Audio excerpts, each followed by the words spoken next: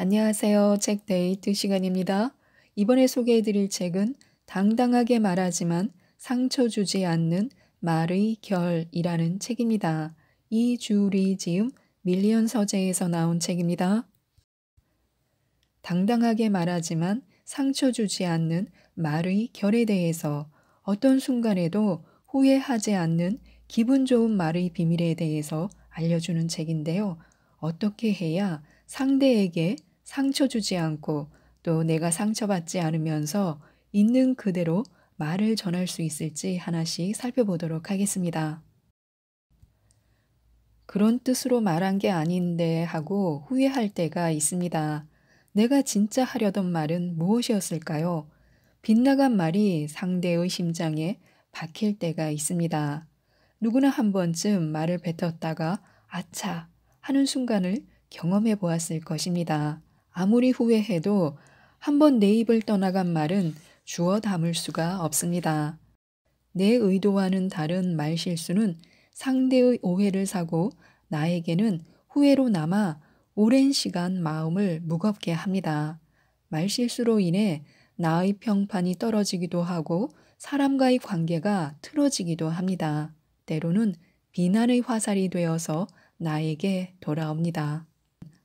나에게는 아차 싶은 말 실수가 상대에게는 생각보다 큰 상처가 될 수 있습니다. 말한 사람은 당황스럽고 듣는 사람에게는 마음의 상처가 되는 말들은 일상생활에서 의외로 빈번하게 출몰합니다. 아침에 집 밖을 나가는 순간부터 우리는 사람들을 만납니다.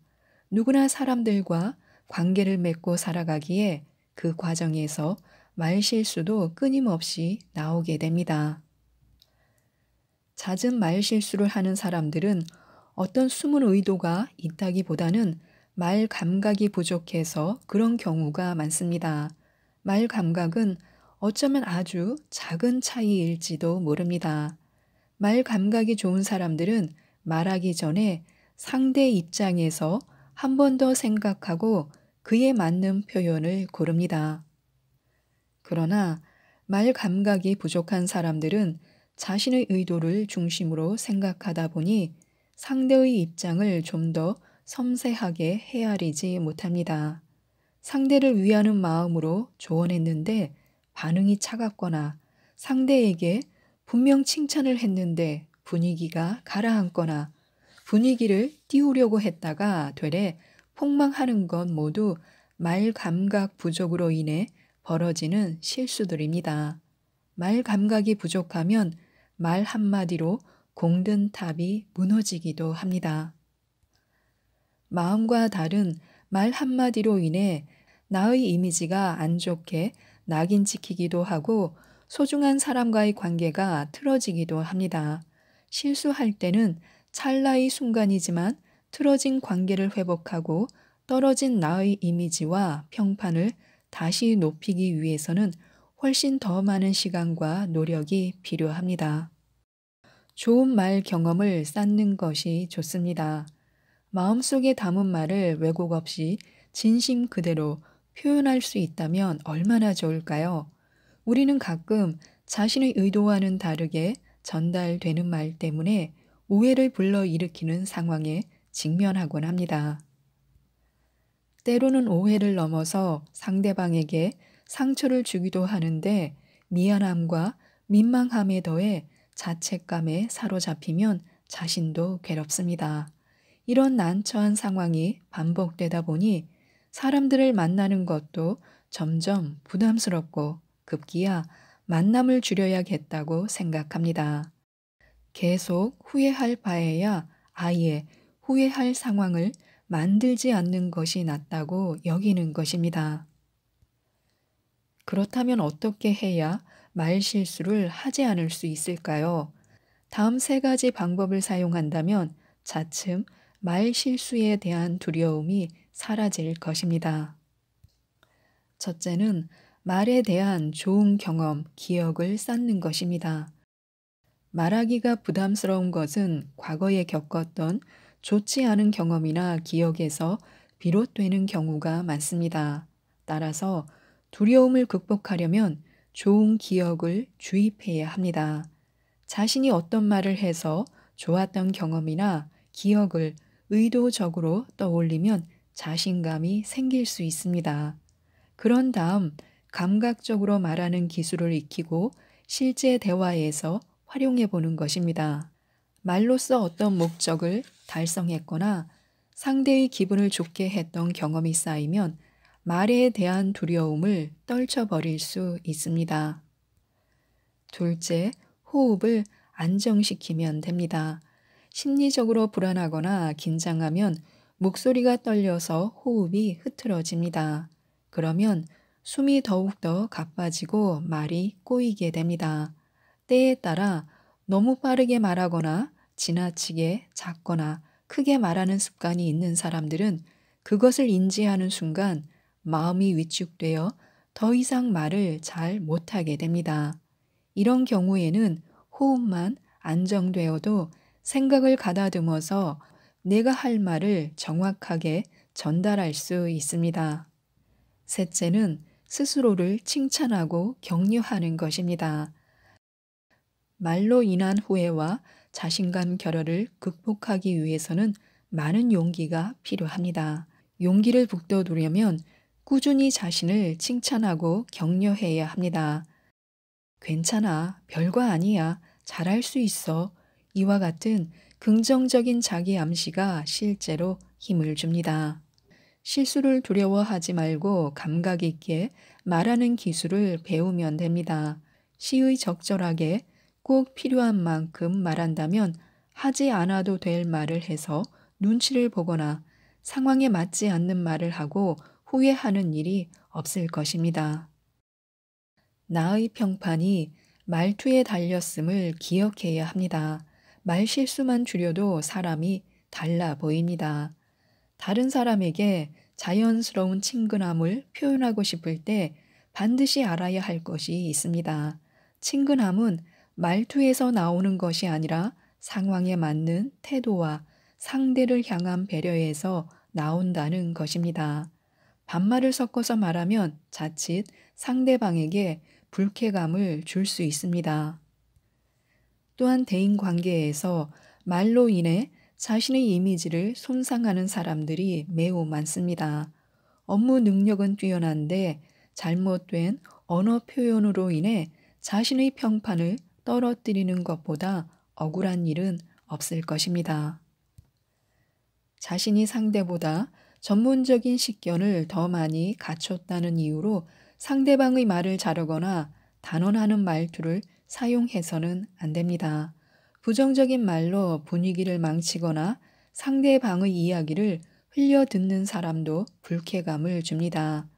저렇게 이야기하는 사람하고 사업을 진행하면 내가 많이 힘들겠어. 저 사람 말은 못 믿겠는데 같이 일하는 내내 불편할 것 같아.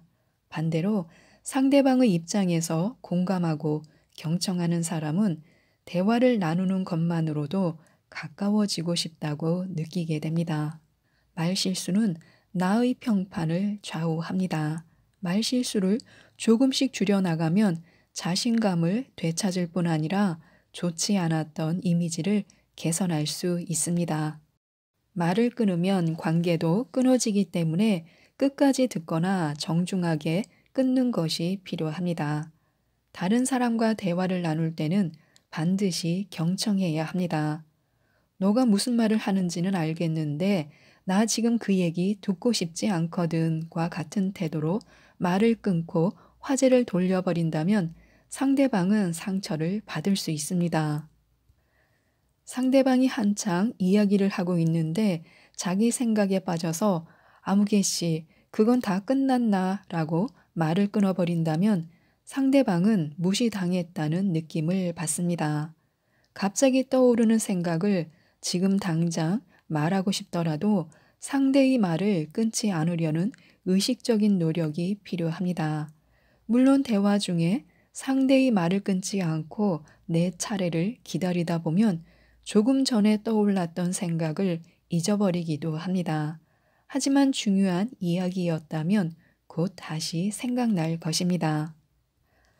말을 끊기 전에 지금 하려고 하는 말이 정말 중요한 것인지 생각해 보는 것도 좋습니다.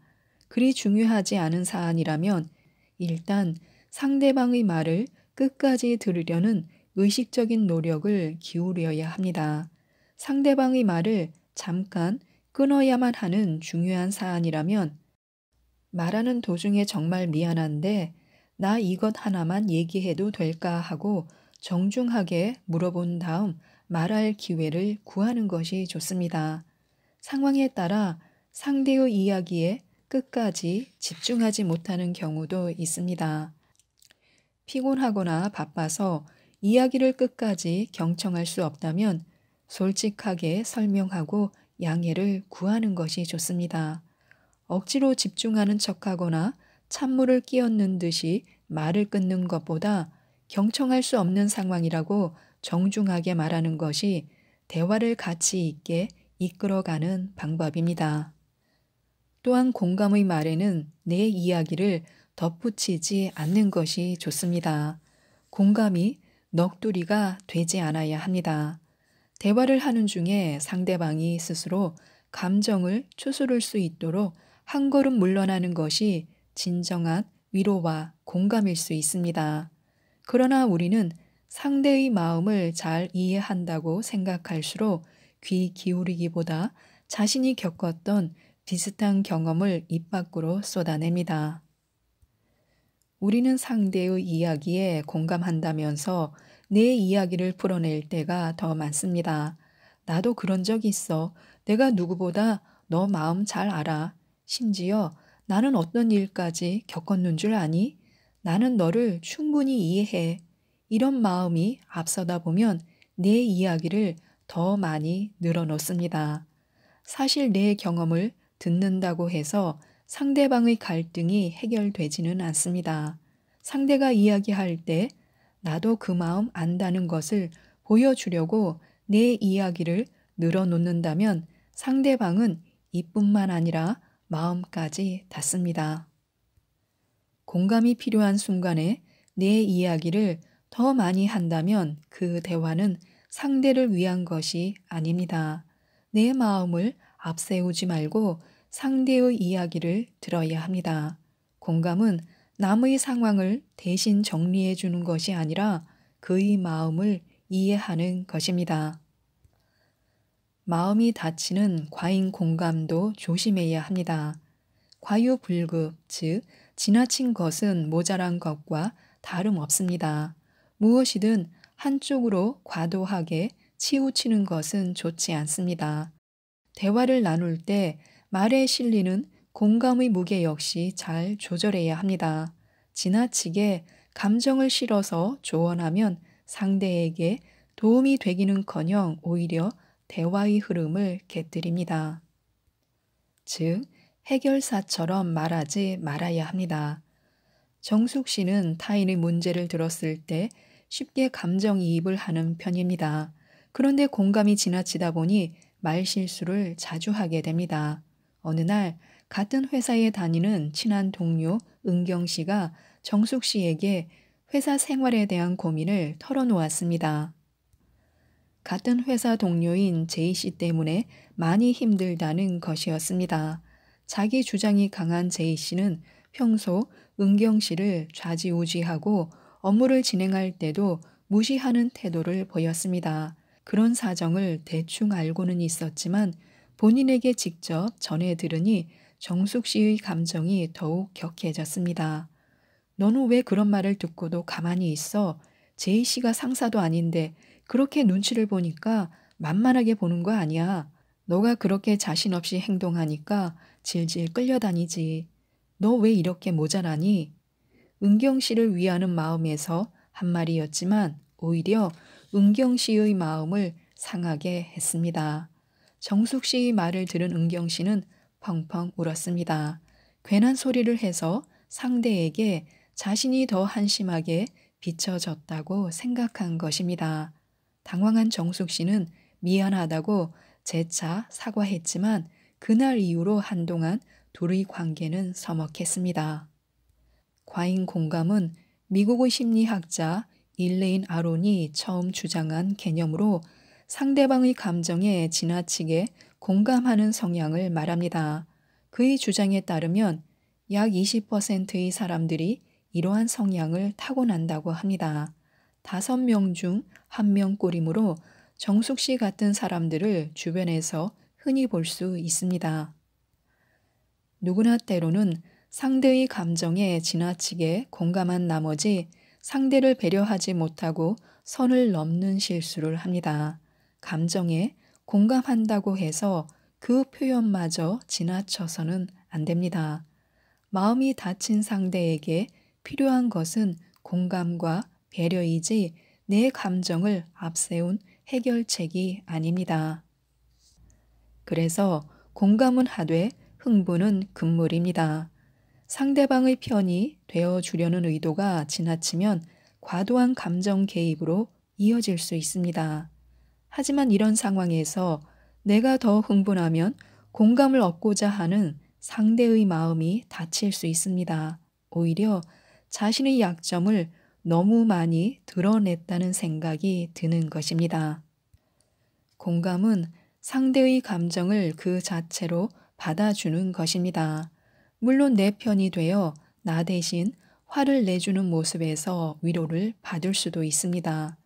하지만 지나친 감정이입으로 흥분해서 펄펄 뛴다면 오히려 대화하고 싶은 마음이 사라질 수 있습니다. 차분한 마음으로 경청하고 자신이 격해지는 경향이 있다면 의도적으로 자제하려는 노력을 해야 합니다. 상대방은 존중받고 있다는 것을 느낄 때 진심으로 위로받을 수 있습니다. 같은 문제에 대해 각자 생각하는 최적의 해답이 있습니다. 하지만 자신이 생각한 해답이 상대방에게도 최적은 아닙니다. 우리는 사랑하는 마음으로 들어주기만 하면 됩니다. 결정은 상대의 몫입니다. 나의 감정이나 표현을 앞세우지 말고 상대의 결정을 존중해 주는 것입니다. 이번에 소개해 드릴 책은 말투가 고민이라면 유재석처럼이라는 책입니다. 정재영 지음 센시오에서 나온 책입니다. 많은 분들이 좋아하시는 유재석 씨가 프로그램에서 보여주는 말 습관이나 태도 등을 예로 들어 설명을 해주기 때문에요. 그 프로그램을 시청하셨다면 좀 더 생생하게 저런 점을 배워야 하는구나 하고 느끼실 수가 있습니다. 이상적인 말솜씨와 말투를 배울 수 있습니다. 경청하는 눈빛이 감동을 줍니다. 어떻게 하면 돈을 더 벌고 더 인정받을 수 있을까요? 사랑하는 가족, 연인, 친구와 더 가까워지려면 어떻게 하면 좋을까요? 사회적 성공과 개인적인 행복을 모두 선물하는 태도가 있습니다. 바로 경청입니다. 하지만 경청이 그렇게 단순한 행위가 아닙니다. 세부 기술이 많은데요. 커뮤니케이션 이론에서 말하는 경청의 기술에는 집중하기, 표정과 자세 관리하기, 이해하기, 기억하기 등 여러 가지가 있습니다. 그 중에서 가장 중요한 것은 반응하기입니다. 적극적이고 긍정적으로 반응해야 경청이라고 할 수 있습니다. 반대로 아무리 온 마음을 다해 듣는다 해도 적절하게 반응하지 않으면 경청이 아닙니다. 경청의 핵심은 반응입니다. 유키즈 온더 블럭에 배우 공유가 출연해 MC들과 즐거운 대화를 나눴습니다. 유재석은 어떻게 저럴 수 있을까 싶을 정도로 다양한 반응을 보였습니다. 공유가 스스로 출연을 결정했다고 하자 아하 공유는 그럴 줄 알았어요 라고 말했습니다. 공유가 유키즈 온더 블럭을 다는 못 본다고 하자 어 그런 거지 뭐 맞아요 맞아요 그러네 라고 말했습니다. 맞아 맞아 맞아 자기도 안 해 멋있는 거 공유가 이동욱은 여우 같다고 하니 이히히히 긴급 속보입니다. 이동욱은 여우다 라고 말했습니다. 감탄하면서 야 센스가 있네. 공유가 가족을 실망시킨 적이 있다고 하자 아 뭔지 알지. 동의하는 의미로 그러니까요. 너무 공감이 가. 궁금해하며 아, 그래요? 아, 진짜? 안타까운 듯이 아, 참 또 손뼉 한 번 치고는 그거 알죠. 놀란 표정으로 어후, 아이고 나 참 진짜 일부만 옮겼는데 놀랍습니다. 어쩌면 저렇게 다채로운 반응을 보일 수 있을까요? 유재석이 가만히 앉아서 편하게 돈을 벌고 명예를 얻는 게 아닙니다. 그는 카메라 앞에서 엄청난 정신 노동을 합니다.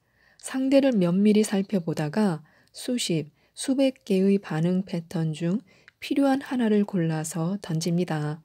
그런 관찰과 분석과 선별의 과정을 몇 시간 동안 지속하는 것은 무척 힘든 일입니다. 모니터를 뚫어지게 보는 주식 투자자, 취업 공부에 집중하는 청년, 논문 쓰기에 몰입한 학자처럼 유재석도 자신만의 정신 노동을 고되게 수행하면서 그 결과로 사회적 성공을 일군 것입니다. 그런데 분석해보면 유재석의 반응에는 규칙이 있습니다. 첫 번째로 상대의 감상을 존중합니다. 그거 알죠? 라고 외치면서 대화 상대의 감정과 의견을 진심으로 인정하는 것입니다. 또 상대를 칭찬합니다. 예를 들어서 센스가 있네 라는 말은 인터뷰이를 기분 좋게 띄워주는 말입니다. 세 번째로 감정에 동조합니다. 함께 기뻐하고 안타까워하는 것입니다. 아하, 나 참, 아이고, 라고 말하면서 상대방의 감정 변화에 빠르고 정확히 동조합니다. 우리도 그렇게 할 수 있습니다. 인정, 칭찬, 동조하는 반응을 보이면 되는 것입니다.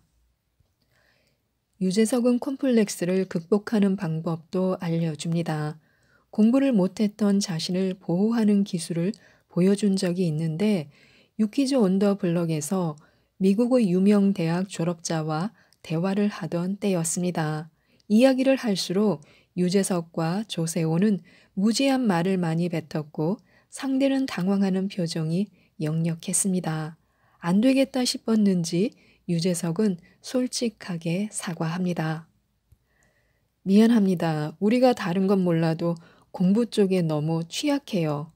결국 공부를 못해서 미안하다라는 말입니다.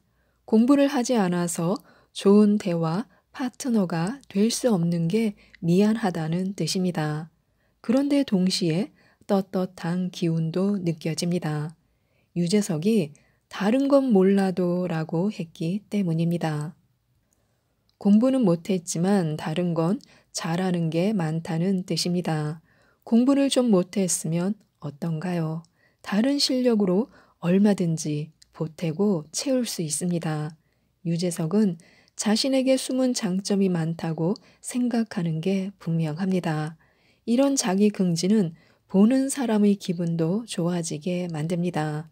유재석은 사과와 함께 적극적으로 해명도 하는 사람입니다.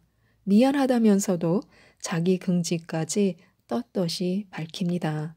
그런 태도를 따르면 우리는 삶의 가장 큰 고통에서 벗어날 수 있습니다. 바로 삶의 우울에서 자유로울 수 있는 것입니다.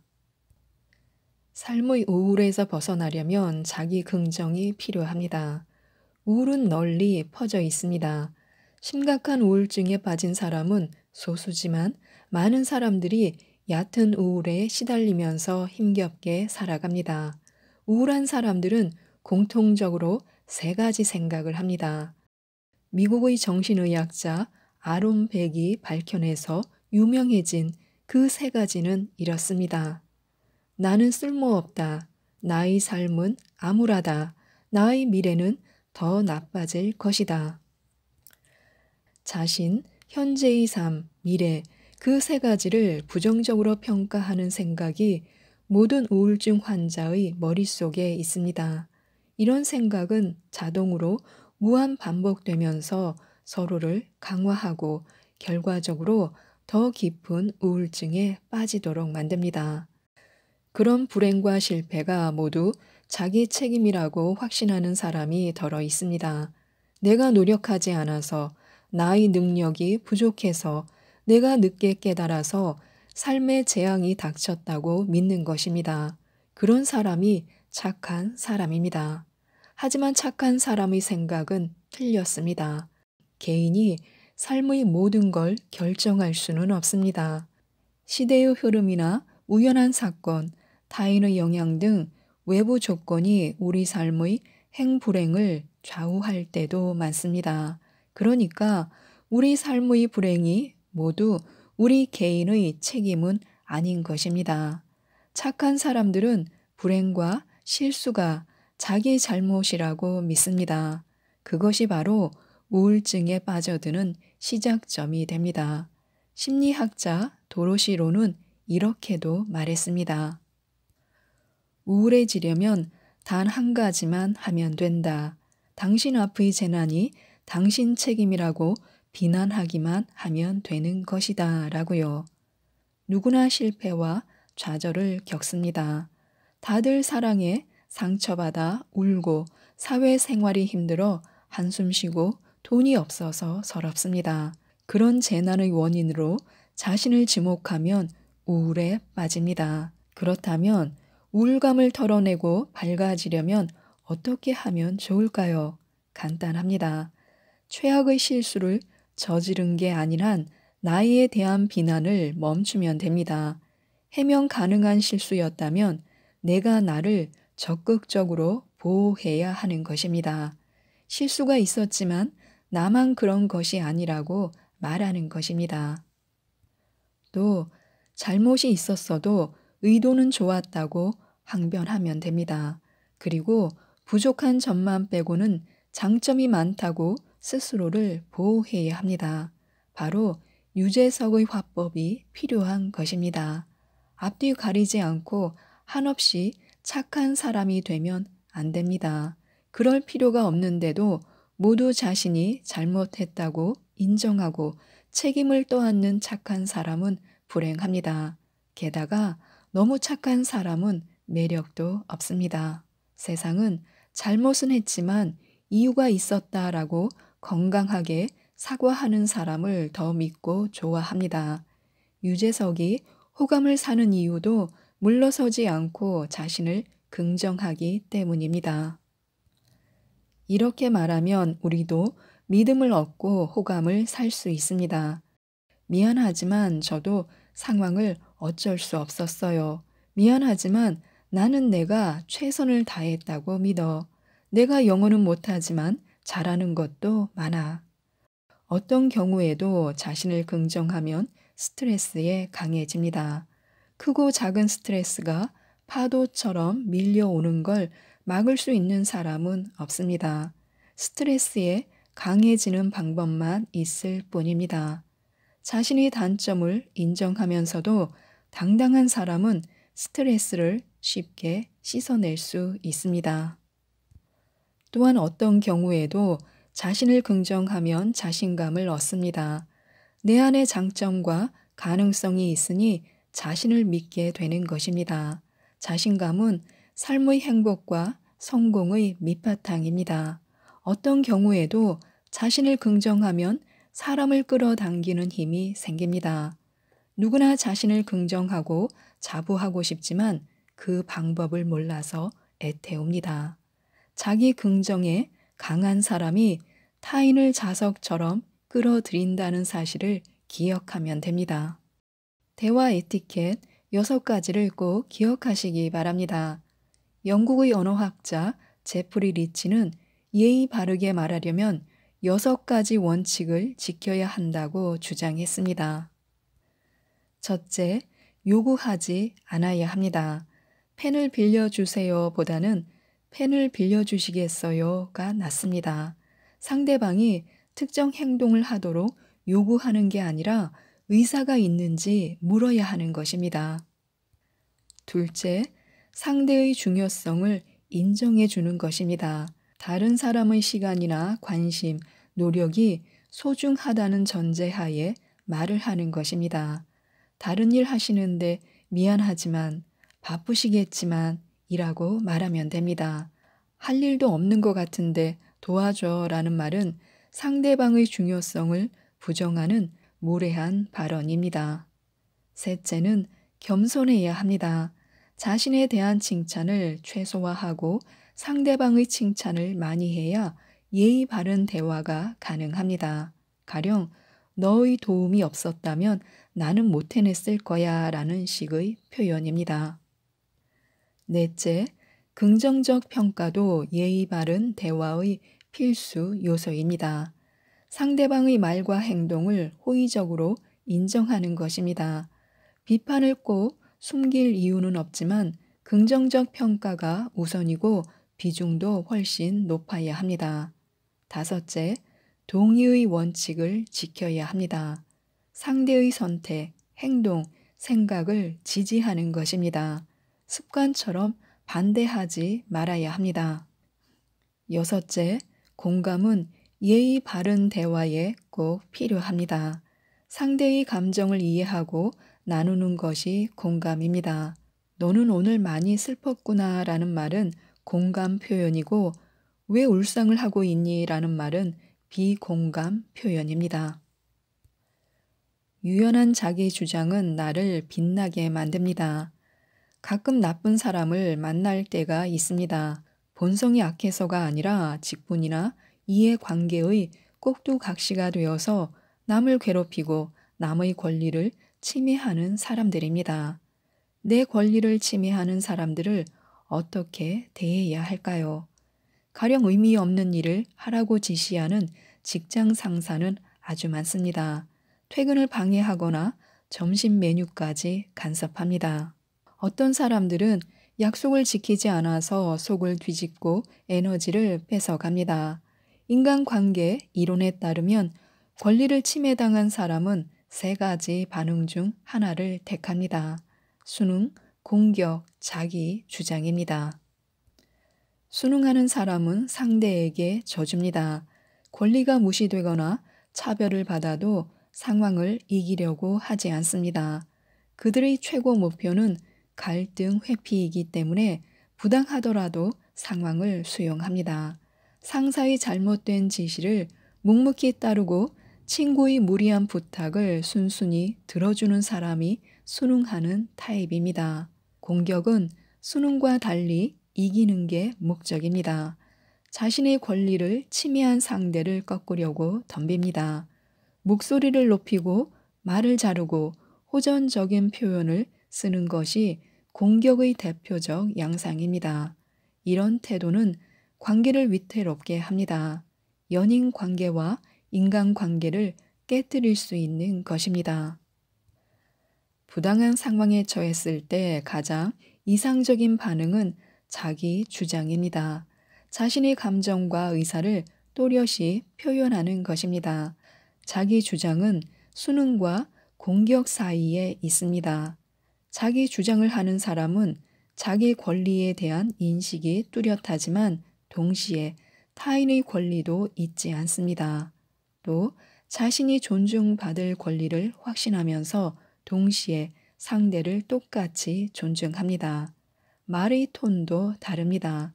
묵묵히 순응하거나 소리치며 공격하는 일이 없습니다.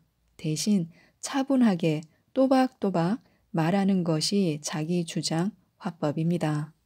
말 실수만 줄여도 획기적인 이미지 개선이 가능합니다.